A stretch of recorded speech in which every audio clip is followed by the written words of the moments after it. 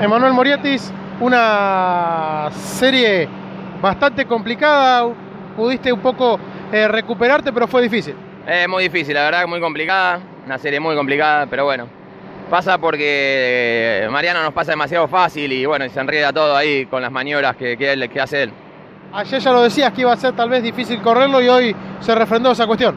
Sí, ayer dije que era difícil, pero realmente en pista lo vi eh, demasiado difícil, o sea, me asombró más de lo que pensaba, o sea, pensé que, que, se nos iba a venir, pero que nos pase tan fácil realmente no, no lo creía, y bueno, se, se, notó ahora en esta recta como vienen jugando.